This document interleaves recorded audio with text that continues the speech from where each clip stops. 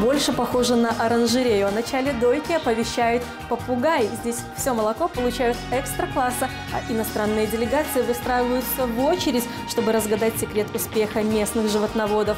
Каков же он, этот секрет успеха, узнаем прямо сейчас. Современный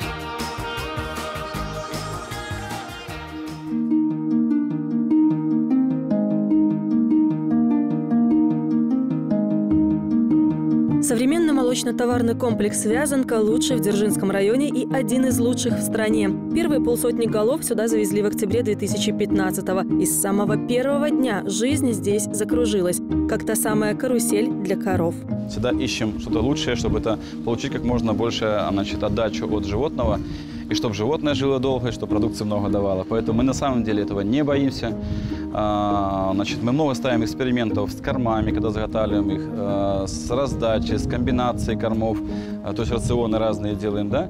И мы уже в этом плане, я скажу, что мы не можем идеально все знать, но мы далеко продвинулись. Мы сегодня можем молоко свое контролировать, то есть либо его больше дать, либо меньше, но там еще у нас есть параметры на завод, который принимает там по жирности, скажем, по белку, но мы должны в эти параметры вписываться. Но тут еще и задания, и планы действуют так у нас, которые мы должны, мы за счет этого деньги получаем. То есть валовая продукция нас заставляет все равно мы должны давать валовую продукцию, да, то есть мы должны увеличить каждый год ее. Ну вот из этих параметров всех мы выбираем оптимально, скажем, движение и двигаемся в данном направлении. В качестве эксперимента недавно была опробована новая технология заготовки кормов. Результат оказался ошеломляющим. Помимо высоких удоев удалось продлить жизнь животных до шести лактаций. Налажена здесь и уникальная система навоза переработки. Видите, здесь животные лежат, они вот чистенькие, все гладенькие, да? Это все видно хорошо. Во-первых, это на качество молока влияет, то есть э, животные не болеют так часто, как на других фермах. А во-вторых, это возвратная фракция, которая дает возможность нам не э, ложить там коврики. Многих у нас раньше строили, когда там маты, коврики ложатся, да. Животные очень плохо себя чувствуют на них зимой, особенно когда мороз. Вот, болеют чаще. Здесь они как бы находятся на сухой э, подстилке. Вот, они чистые, их не надо чистить. Э, это возвратная фракция, то есть э, здесь нет большого расхода электроэнергии, как мы говорили раньше, да, допустим, там, но это все окупается. И мы, самое главное, получаем очень качественное молоко. На сегодняшний день на ферме мы держим соматику в пределах 100-120 э, тысяч. Это, скажем так, супер молоко, которое без проблем нас покупают люди даже с фермы, в том числе руководитель, да, и все у нас берут здесь молоко. Вот. Это будет дешевле гораздо, чем покупать его в магазине. Хранится оно хорошо, вот. До недели в холодильнике без проблем молоко наше хранится здесь. Вы так с вот. Э, видом эксперта говорите. То есть пьете свое молоко? Я покупаю молоко, пью сам. У меня дети пьют все. Я реально покупаю молоко свое. свое. Зачем? Я сейчас знаю качество молока свое. О чем? Если я знаю, что такое молоко, да, и как оно работает, ну, это же лекарство фактически получается. Вот. Поэтому э, вот эта вот нам система на удаление, в принципе, много того, что здесь вы видите, это нам и дает. Да, мы затратили очень много денег. Мы на самом деле взяли в банке развития 95 миллиардов кредит, когда строили этот комплекс. Мы его построили, на сегодняшний день мы ежемесячно выплачиваем примерно миллиард двести миллионов на старые деньги, я говорю, и новые на старые деньги. Когда мы строили, я боялся, конечно, этого эксперимента, скажем, я боялся того, что действительно, а как же, а получится ли у нас это? Вот. Но у меня есть хорошая помощница сейчас, когда я видел, что действительно у нас уже есть человек, который мне будет помогать, и мысли одинаковые, и одинаковое мышление и в производстве молока, и в производстве всего, то я посчитал, что мы должны справиться. Но надо было, типа, надо было рисковать чем-то было, да? Да, нас критиковали, что мы вложили большие деньги тут, э, построили, знаю, что, ну, сегодня, на сегодняшний день я знаю, что это комплекс один из лучших в республике, и реально здесь большое молоко. И сегодня мы легко платим этот кредит, я даже руководитель скажу, да, мне, может быть, как бы считаю, что я за год выплачиваю большие деньги, но сегодня мы выплачиваем, я знаю, что мы пойдем дальше, и эту сумму мы уже не будем ощущать, потому что мы гасим основной долг, оплатим проценты, процент уменьшается, естественно, и где-то года через два я уже вообще не буду чувствовать этой нагрузки, скажем так.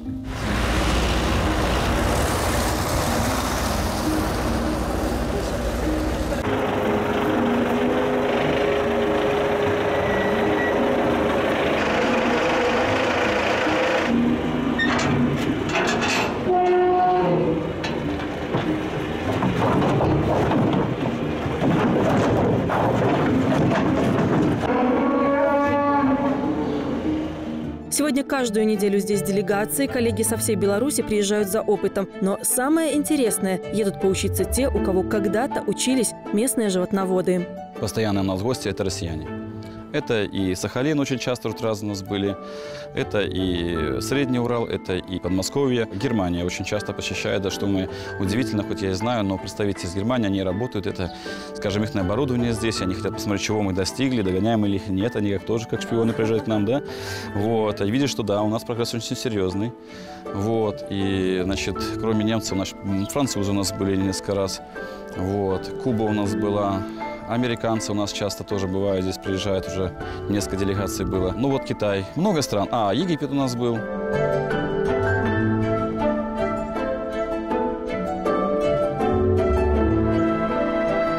Я сам учился действительно за границей. Я был в Германии, в Баварии. В 2001 году по программе Министерского хозяйства попали, значит, лучшие из лучших попали на стажировку в Германии. Там я занимался выращиванием значит, крупного рогатого скота, то есть мы производство мяса крупного скота и свинины. Вот. Там, конечно, я получил первый, скажем так, бесценный опыт в том, как ведется экономика этой страны, что они делают, как они делают. И то, что я перенял там, то сегодня я стараюсь применять у себя на практике, у себя здесь, в этой стране. Это, я скажу честно говоря, получается. В Германии на сегодняшний день молоко там у них не очень рентабельно, потому что хоть и помощь есть, а далеко вообще-то рынки сбыта нет, у них ограниченное производство молока. У нас сегодня в этом плане очень все хорошо. То есть молоком заниматься очень выгодно, и это, наверное, самый лучший э, значит, источник дохода населения сельской местности.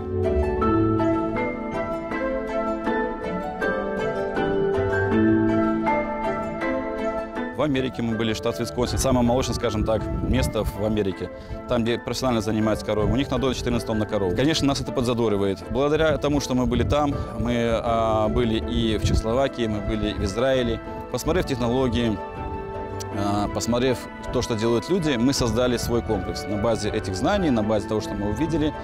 Естественно, мы создали то, что мы хотели сделать. Этот комплекс на передовых позициях теперь не только в Беларуси, но и в СНГ. Европейский уровень по всем параметрам. Сегодня производство молока на, на корову, скажем, да, мы соответствуем уже европейскому уровню на самом деле. Это в первую очередь имеется в виду.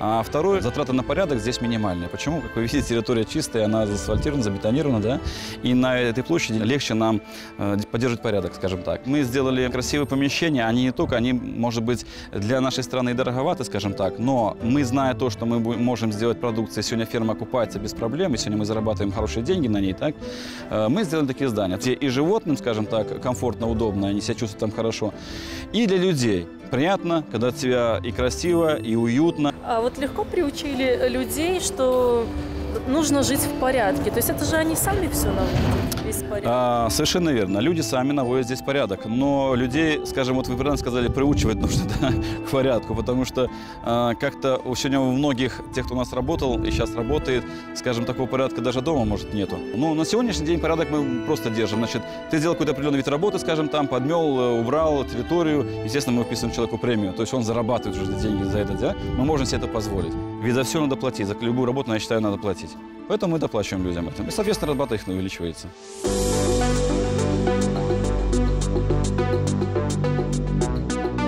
С неподдельным интересом делегация сотрудников трех китайских компаний знакомится с тонкостями животноводства. Расспрашивают, фотографируют, записывают. Су Цуни представляет строительную компанию, которая входит в одну из крупнейших инвестиционных корпораций Китая. Среди ее проектов – строительство главного стадиона Олимпиады 2008 в Пекине, возведение социального жилья в Анголе, строительство скоростной автострады в Алжире. Цель нашего визита – ознакомиться с производством комбикормов в Беларуси. Мы смотрим на примере ряда комплексов, которые находятся в Минской области, уровень и технологии. В частности, Дзержинский агрокомбинат произвел хорошее впечатление. В целом, методы ведения животноводства схожи. Сейчас используются современные технологии и в Китае, и в Беларуси. Но основное отличие, безусловно, масштабы. Если в Беларуси мы видим типовые молочно-товарные фермы на тысячу голов, то в Китае это 10 тысяч. Но то, что мы видим у вас, и это сильно отличается в лучшую сторону от наших предприятий, чистота, экология вокруг предприятий. Это сразу бросается в глаза. Компания в основном работает в промышленном строительстве, поэтому та чистота, которую сегодня увидели, она действительно производит впечатление и э, вполне сравнима с той чистотой, которая на промышленных предприятиях. Основной упор в ходе этого визита делался на э, производство комбикормов, потому что в будущем планируется строительство комбикормового завода в Беларуси, поэтому китайским коллегам необходимо понять специфику производства кормов в Беларуси, потребность. Э, с учетом того, что потребителей много в стране, нужно понять э, вот именно эту специфику. Это возможность пообщаться с э, работниками, руководителями предприятия, непосредственно потрогать вживую коров. Конечно, это эмоции большие. Одно дело, когда они увидели на бумаге все эти отчеты, материалы, другое дело, когда вживую увидели, посмотрели, конечно, это надолго, я думаю, останется у них в памяти посещения этого предприятия.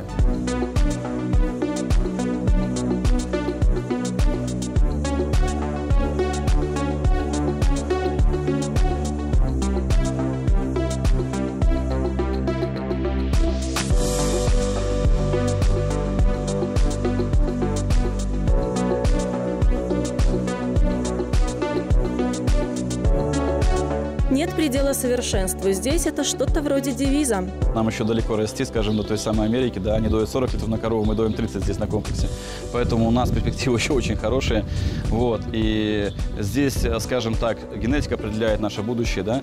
Мы занимаемся селекцией хорошо. И есть животные, которые у нас дают, скажем, а, от 30 до 40, есть от 40 до 50, есть от 50 до 60, есть уже несколько животных, которые больше 60 литров молока. Да? То есть у нас есть к чему расти, потенциал и возможность наши безграничны.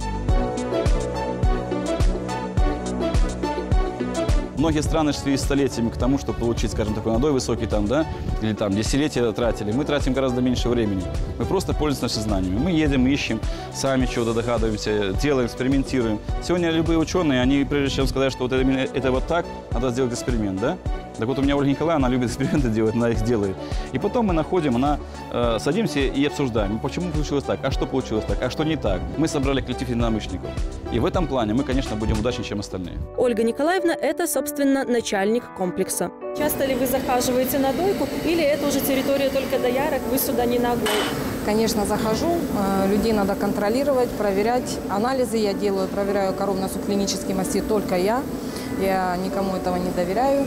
Э, потом уже я выписываю, кого ставить на лечение. Э, как работает аппаратура, я обязана знать для того, чтобы контролировать правильную работу операторов и того же слесаря потому что э, техника и оборудование очень хорошее, но э, им надо уметь правильно пользоваться.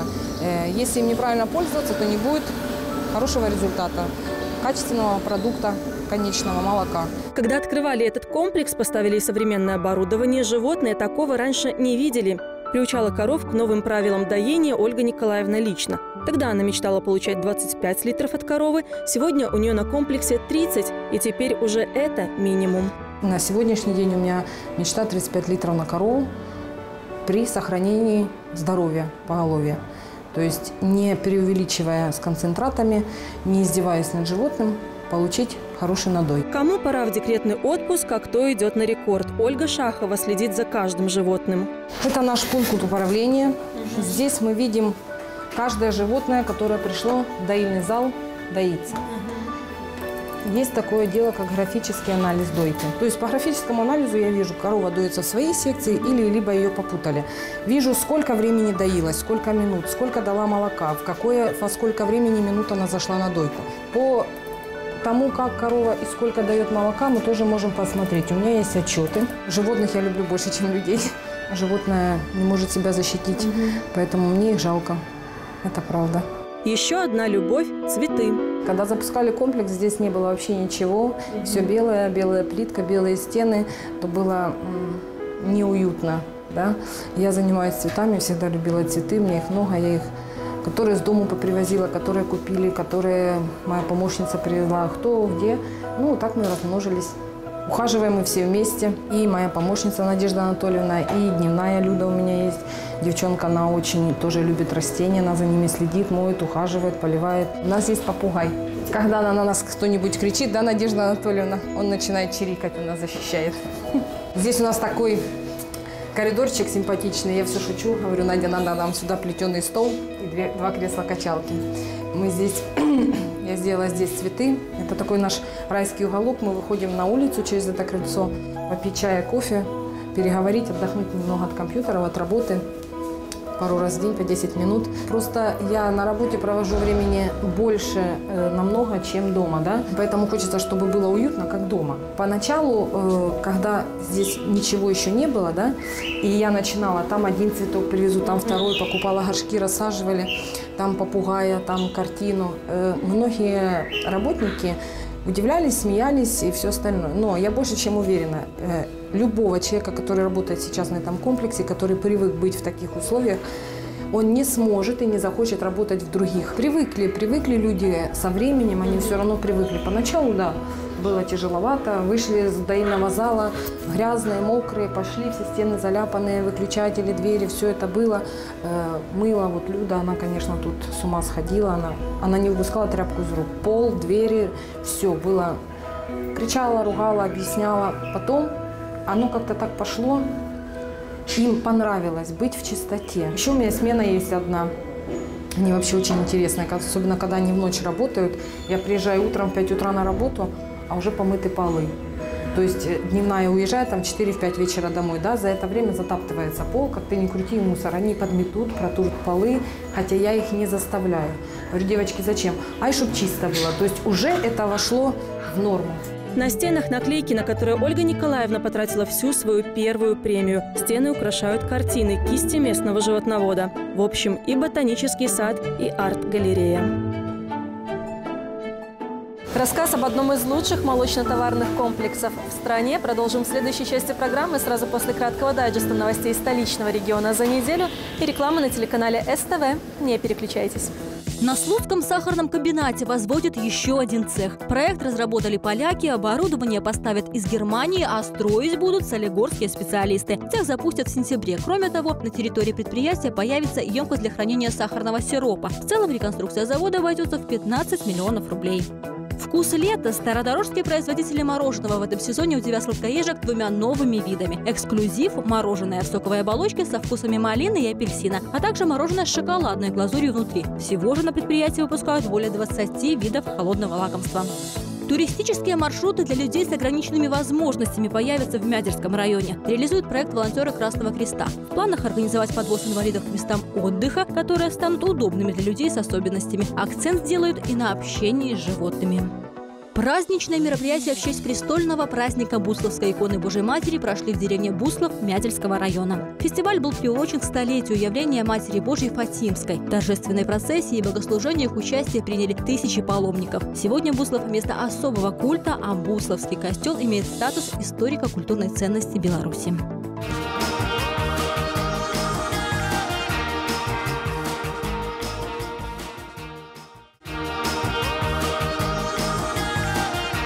Это «Центральный регион». Я напомню, что наша программа, как и все репортажи и эфирное видео в любое время, доступны на официальном сайте ctv.by и на YouTube-канале столичного телевидения. Заходите, смотрите и подписывайтесь.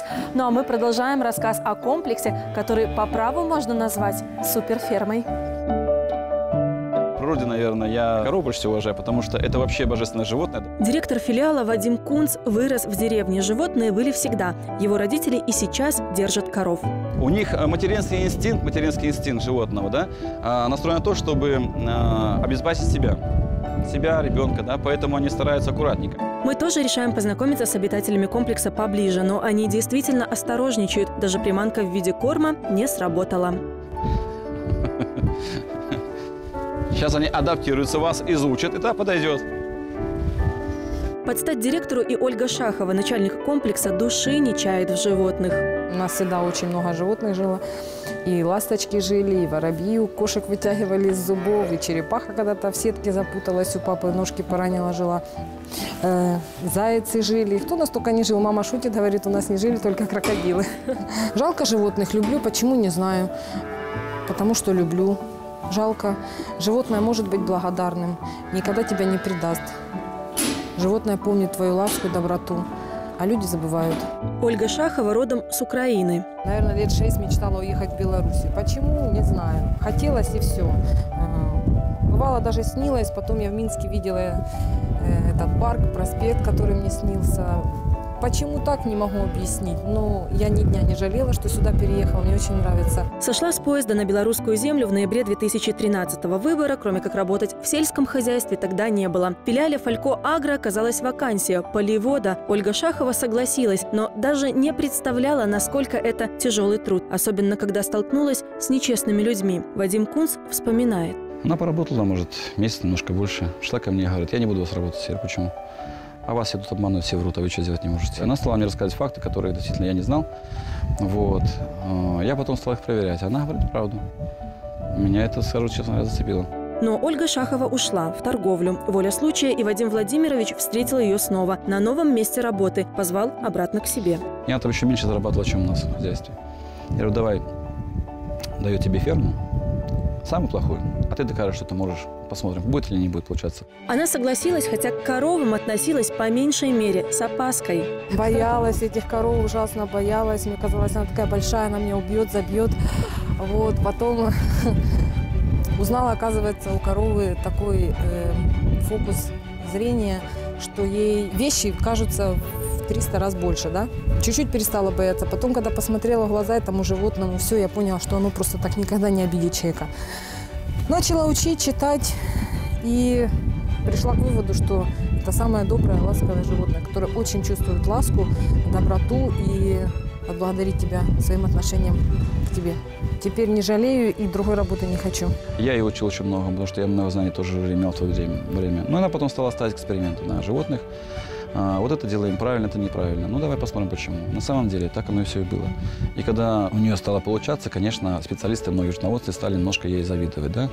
Но зависть нехорошее дело, начинаются проблемы, значит, подговаривать кого-то, а он такая сякая, там, не знаю, что творит. Вот. Она начала мне там наводить дисциплину в коллективе, многие стали увольняться. И однажды настал тот момент, когда доить коров стало некому. Говорит, а мне доярка нужна. Я говорю, ну вот у меня доярки нет, сама их дои. И она стала сама корова доить. Прихожу на ферму, ее не видать нигде. Я говорю, слесарь, а где его Николаевна? Я а где? Я говорю, где? Не видно никого. Я говорю, она сидит, доит коров, перчатки и все. Где-то месяц целый. Но выдержала, молодец. Первую дойку свою помните? Помню. Помню. Боялась ужасно, но я не могла показать, что я боюсь. Она заставляла работать всех, но и сама показывала пример. Там стала очень хорошая покрываемость, то есть 100% покрываемость. Врачи заставила работать всех врачей, за техников, всех стала работать там на ферме. Доярок отрезили тех, которые способны были к этому делу, да? И когда встал вопрос, кто будет управлять новым комплексом, сомнений у Вадима Кунца не было. Правда, у него одного. Много, конечно, было подножек со стороны и нашего коллектива, наших людей, и жалобы, и прокуратуру, и в райисполком. Но, слава богу, у нас представитель полком разобрался, он понимает технологии, знает хорошо, сказал. У меня такой человек один. Ну и все, вот таким образом мы закрепились здесь. И на сегодняшний день, конечно, она учит многих. И на сегодня поспорить с любым в технологии, даже с ученым. Было очень-очень тяжело морально, да. Помогал мне только директор. И дома поддерживала дочь. Говорила, что я все выдержу. Были слезы. Казалось, все, уже не могу, больше не смогу, не выдержу. Но потом начинала с утра. И заново начинали работать. Все, ну как-то так. Бог дал сил, дал терпение. Кажется, уже больше такого не выдержала. Ну, смогла. Сегодня благодаря этому тандему Вадима Кунца и Ольги Шаховой комплекс стремительно развивается. Они тщательно подбирают коллектив и работу под конкретного человека. В каждой м, такой небольшой отрасли, да, на ферме или на комплексе есть свои нюансы. Э, Маленькие телята – это одно, доить корову – это другое, принимать отелы – это третье. Вот телята, телята на доращивание – это уже совсем другое. И то есть характер человека в определенном э, разделе моего комплекса обязательно играет роль. Вот, к примеру, Елена в многодетной маме Ольга Николаевна разглядела прекрасную телятницу. Меня вызвали в кабинет. Николаевна сказала, Лена, мы тебя ставим на телят, профилакторик, маленьким теляткам. Я, конечно, расплакалась, это очень большая ответственность. Вот. Я сказала, я не пойду, я плакала. Она мне сказала, Лена, утри сопли, четырех детей вырастила, вырастешь и теляток, справишься и здесь. Ну и, правда, пару плакала несколько дней, но теперь уже привыкла. Мне нравится, и я уже никуда не хочу отсюда. Но почему нравится? Вот что у них такого в этих телятах? Ой, ну это же вот действительно как маленькие детки. Все это и температура, все может быть, любые болезни. За ними смотришь, они такие же ласковые, такие Вот когда он веселенький, это и я радуюсь. Когда у него что болит, все. И, ну, как то же самое, как я растила когда-то своих детей. Сейчас каждым сотрудником комплекса можно гордиться. У меня доктор вообще от Бога. В жизни не каждый папа будет так, как он. Он пройдет каждого теленка, заглянет ему в рот, в ухо. Частая гостья на комплексе и дочь Ольги Шаховой София. Проверяем корм, Соня, таблички, ушки. У меня нету комбикорма. Не есть. Иди сюда. А вот он, вот он вылазит рядом. Бывает, мама позовет телятницам там помочь, комбикорм подсыпать или попоить телят. Когда дневной помогает там помыть полы, ну, по-разному. В основном э, часто очень приезжаю, дома не сижу. Приезжаю, чтобы не сидеть дома одной, покушать привезти, все-таки голодная целый день. Домой практически не появляется, только в обед, когда есть время. Кстати, в отличие от мамы, София коров ни секунды не боялась. Зубы у них, конечно, есть, но они же не кусаются, чего их бояться. Поэтому они мне сразу понравились, как вот, ну, вот, как ласковое животное. Поэтому я их не боялась с самого начала, они мне нравятся до сих пор. Бывают такие, конечно, моменты, когда там телка либо хвостом нечаянно заденет, там, либо же, ну, вот первый раз в жизни было, выгоняла телочку, и она мне ногой просто ударила по моей ноге э, на коленную чашечку. Ну, ничего страшного, синяк уже прошел. Вот, ну, а также вот мне очень нравится, с ними приятно общаться. Вот, бывает даже вот очень часто, что телочка подойдет, либо корова, хочется, хочет, чтобы ее погладили, ручных очень много на работе мамы. Подойдет, хочет, чтобы погладили, полоскали. Вот, бывает, стою, незаметно э, телочка подойдет, там, либо корова лизнет. Все они хорошие, никогда не обижают людей. Сегодня они не боятся делиться своими планами. Следующая цель, чтобы ни одно животное на комплексе не давало менее 30 литров молока в сутки. Будут улучшать генетику и кормление. И через 3-4 года и вовсе выйдут на 40 литров от коровы. Ну а у Ольги Шаховой еще и свои мечты – украсить спуск в доильный зал и облагородить пруд на территории фермы.